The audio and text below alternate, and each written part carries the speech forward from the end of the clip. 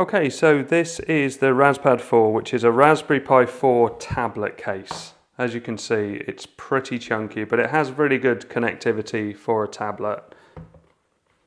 Now it's currently got a Raspberry Pi 5 in there, I've got separate videos on that, and I'm gonna try the new 16 gig Raspberry Pi 5 in there, see how that works. With KDE Plasma, which I've got here, one problem is that you can't log in uh, unless you've got a mouse and keyboard, which is a tablet is a bit annoying.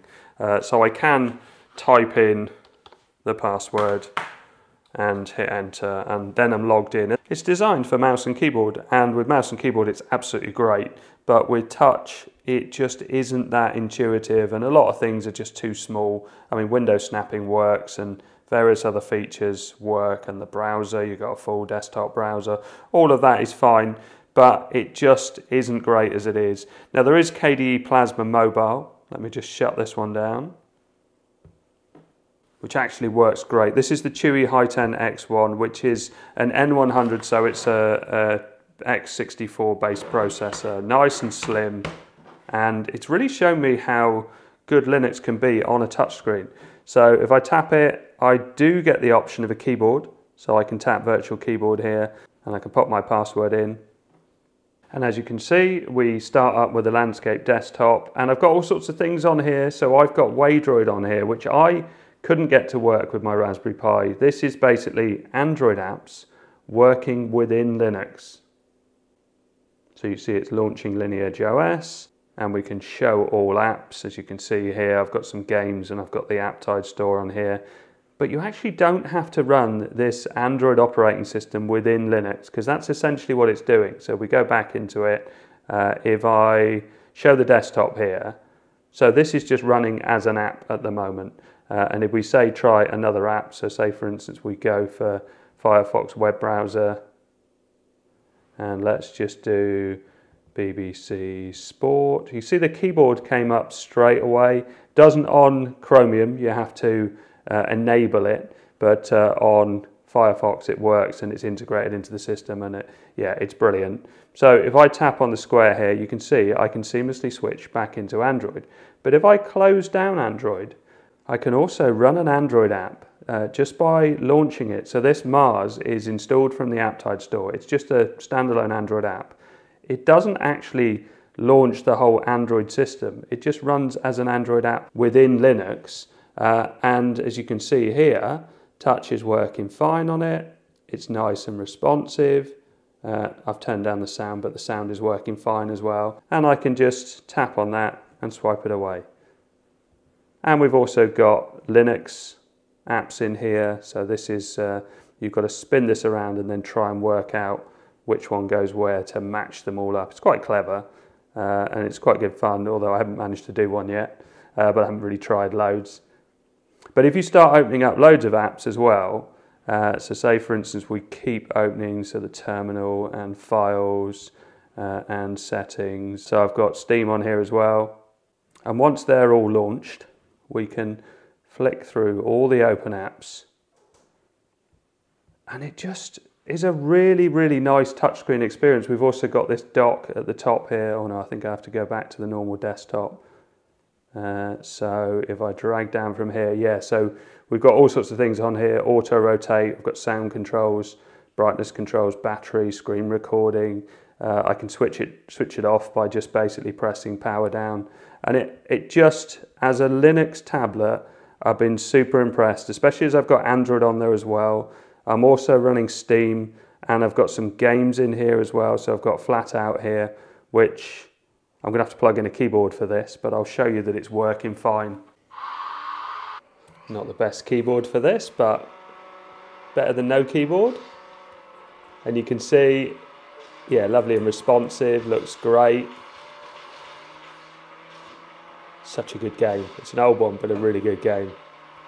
And loads of other things work with this N100 processor. Oh, so as KDE Neon works so well with KDE Plasma Mobile on this device, I thought I'd try it on the Raspberry Pi and see how close an experience I can get to it. So here's KDE Neon uh, Plasma 6.2 I think it is, running from an NVMe drive. It's the same operating system I used in my video about KDE Plasma 6. So basically in this video. So I've used this, I've updated it, and that's given me this newer version, which looks really nice. And on the Chuwi tablet, all I did was install their latest version of KDE Neon and uh, did the same step as I'm about to do now to install KDE Plasma Mobile. So Control Alt T to open a terminal, sudo apt install plasma dash mobile. And yes. Okay, so there's some errors there, but we'll give it a go. So let's shut this down. And I've restarted and we now have an option down here that says Plasma Mobile, so we can select that. And as before, if I tap on here, the keyboard doesn't come up, but now we've got virtual keyboard written down here and it gives us a massive keyboard. So I put my password in, hit enter. So I've got no mouse and keyboard plugged in, which would be sort of simulating what it's going to be like in the tablet. It's looking nice. Oh, we have an error. iBus should be called from the desktop session in Wayland. For KDE, you can launch System Settings 5 Utility. And I've had a look at this, and uh, there's all sorts of fixes online, but it's not just that. So if we tap on the bottom here, you can see that we can get all the apps, and I can call an app up like the Discover Store. Let's get rid of that notification. Uh, I can also do this to get this uh, sort of control center in here, which is really cool. Everything's working nicely on that. Uh, you can see all the touchscreen is very responsive. But we've got some weird issue here. These are question marks instead of the sort of show all open apps option. Uh, we've got, what have we got down here? Well, that's the keyboard. So that comes up, so that's nice to see. Uh, and if we launch something that uses keyboard, then Let's see if it automatically, you see there's loads of things on here. Uh, Firefox, and if I tap, yeah, the keyboard doesn't automatically come up, which is a shame. Uh, so BBC, Sport.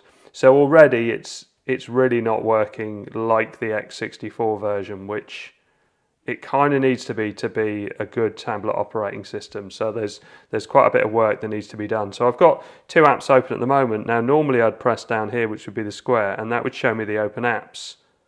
But it doesn't do that. And I don't know what that one does. That just gives me a black screen.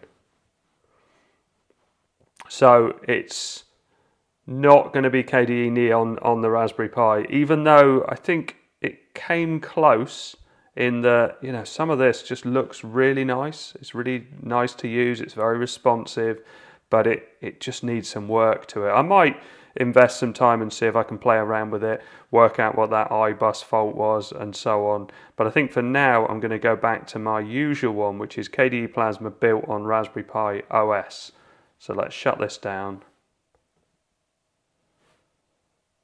So we still haven't got a way of signing in with touch, which is a bit of a shame. Um, but I have a mouse and keyboard plugged in, so let's just pop the password in. And unfortunately, it, it is an older version of Plasma Mobile, and it just isn't as nice. Um, so obviously you can see the apps are here. Uh, I can launch, say, a file manager, and let's launch something else as well. So if we slide across, launch Firefox, and let's launch something else. So let's just go with the calculator. So we've got three apps running now. We can switch between the open apps. Firefox, the keyboard comes up automatically.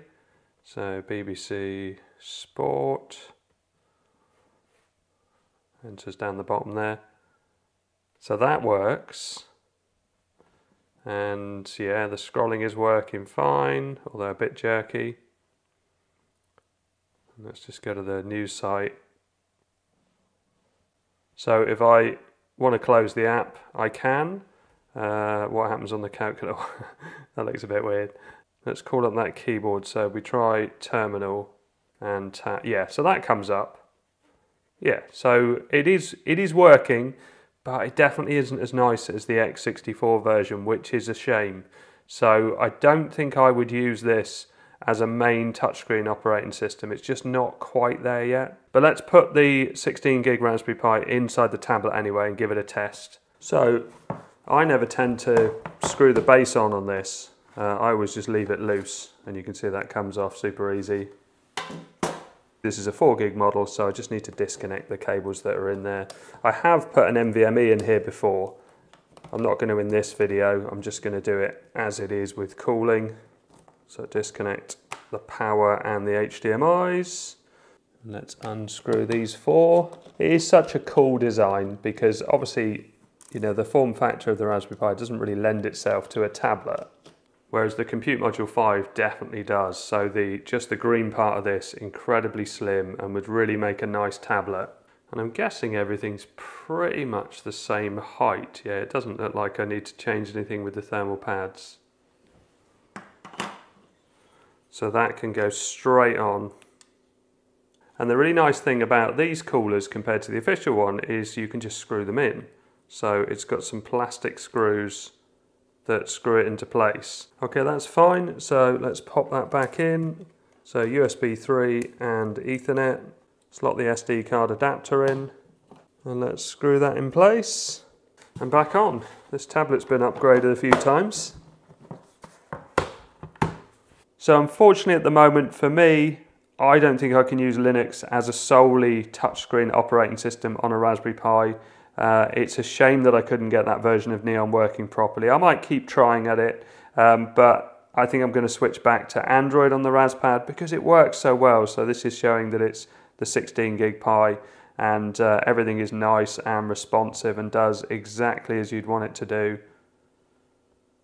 And I was trying to get FydeOS working. Unfortunately, it doesn't work with the 16 gig variant. The same with Windows, and uh, I'm not sure what else we've had that, that hasn't worked with the 16 gig. Same with the compute module and the Raspberry Pi 500. They all have a newer version of the processor, and it has broken compatibility for a few things. I'm sure it'll come back, uh, although I'm not sure about Windows because there really isn't very much support for Windows on Raspberry Pi. I have to say though, the touchscreen experience on the Chuwi really surprised me. So I can use touchscreen on the login screen and it just is lovely to use. And I really haven't found anything that is annoying me or just doesn't work as you'd expect it to. It is, it's really well done. And I actually think that finally you can use Linux on a touchscreen device and not have to have mouse and keyboard and actually have a very good experience. So I hope all this helps. Thanks very much for watching. Please like and subscribe.